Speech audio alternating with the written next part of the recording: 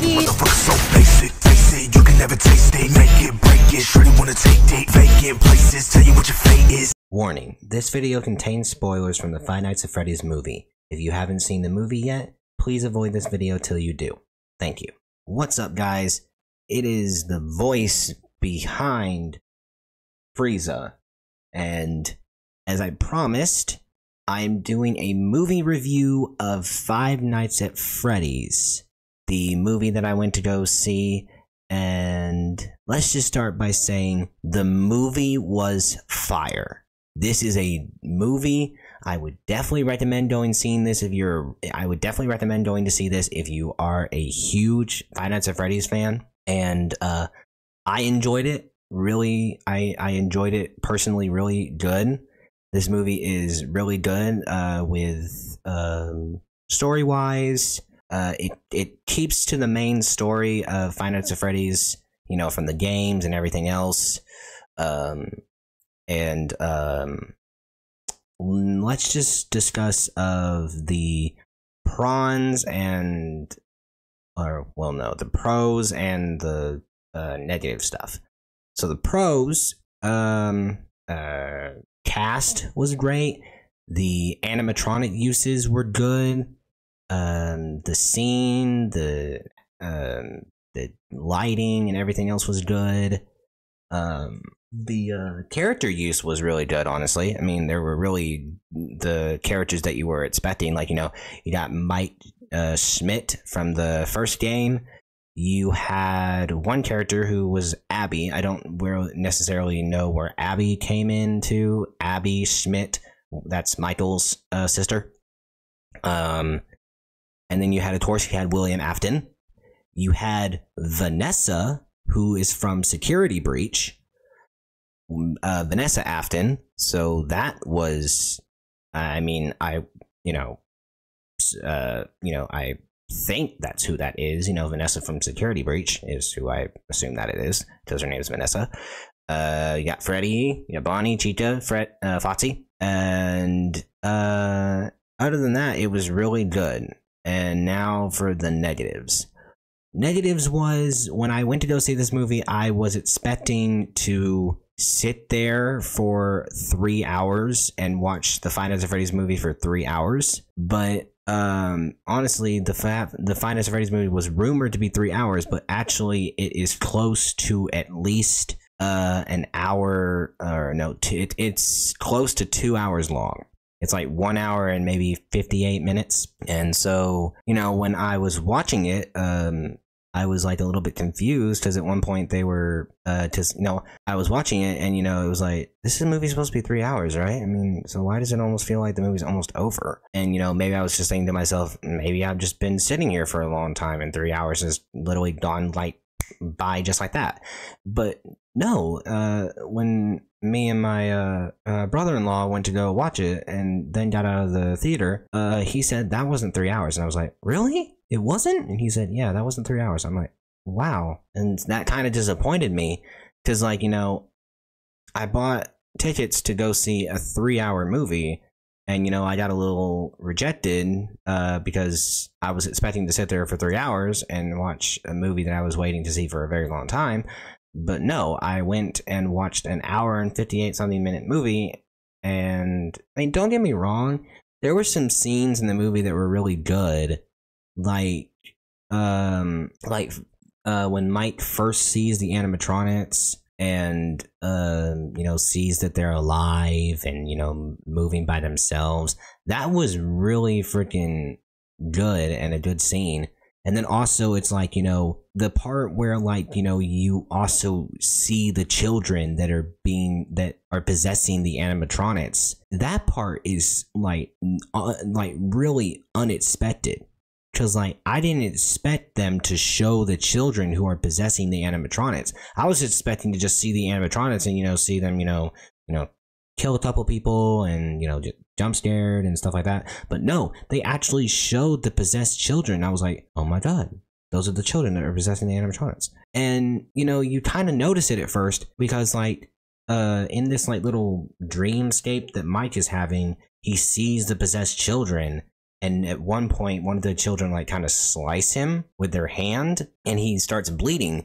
and at that point you hear like a hook sound and then you realize when you hear a hook sound that that's Foxy. That's the children. That's the child who is possessing Foxy, and that just like really, really, uh, like made my jaw drop. And there was like one other scene where uh, one girl got freaking decapitated, and it, and that was the one that was. But overall, this movie really isn't that scary. Like, there's not really that many, like, you know, scare scenes or, you know, um, you know, uh, jump scares and stuff like that. That there isn't that many jump scares in this movie, and you know, you go into this movie you knowing it's a horror movie, and you know, expecting like a whole lot of scares, but there honestly really isn't that many scares, and that's maybe another thing that disappointed me because I was expecting to get a whole, you know, a lot of scares and everything but other than that it, there wasn't that many scares and that's the one part that kind of uh, i guess i don't know. I mean overall the movie was really good in retrospect. It was really really good but everything else uh what again like you know going to the movie expecting it to be three hours and sitting there three hours you know watching this mo- the movie that you've been wanting to see for a long time. Um um what was the other thing? Oh yeah um just seeing William Afton. By the way, the actor who they got to play William Afton was a really, really nice choice. If you guys have not seen um, the live action Scooby Doo movies, they got the actor who played Shaggy to play William Afton. And I thought that was a really, really good choice. Like they made a really good choice by that. And the funny thing about it is now that I now if I ever go back and watch the live action Scooby Doo movies, I'm gonna be like, oh, it's William Afton. but no, nah, other than that, this movie was really, really good. And uh if I'm not mistaken, hold on, let me um see right now if I'm Hold on. Let me look it up right now and then I will tell you guys. Well, that's wrong because that's not what somebody told me. It's got a 30% chance of Rotten Tomatoes, which I'm now being told that that's a good thing. And um, uh, this movie is my mistake. One hour and 49 minutes, close to two hours.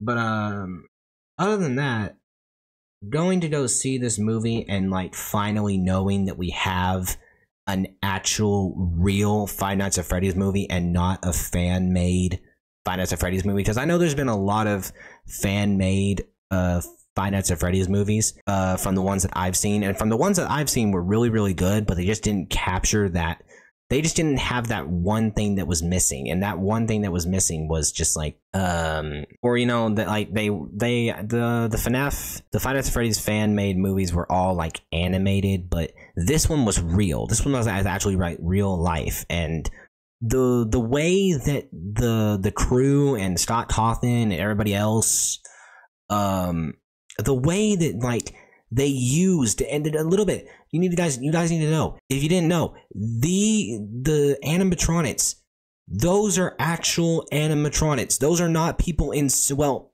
i say that. Sometimes sometimes there were people they, they were people in suits but sometimes they were actual real animatronics. They used real animatronics in the movie those weren't fake animatronics. Those are real real real animatronics that they used. And i just i just found that amazing because like eh, or a little bit no what's the word?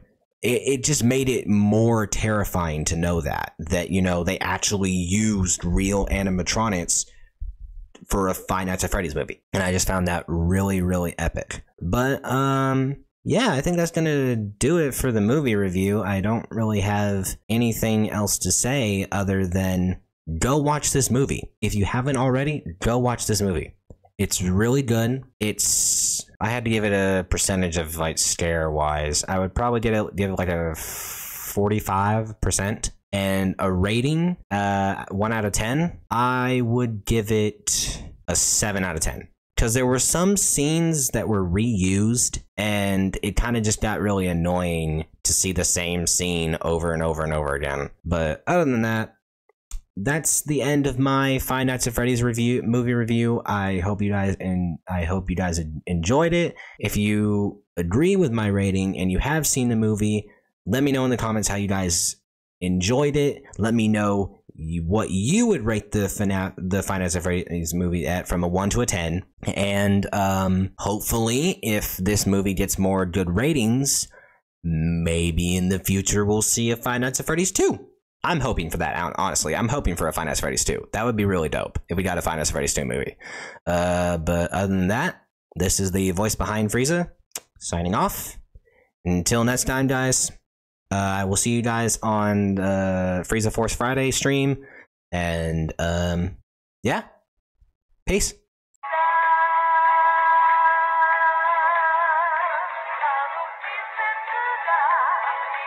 Nico Yard. Stay with me, little bitch. Yeah, you know that I'm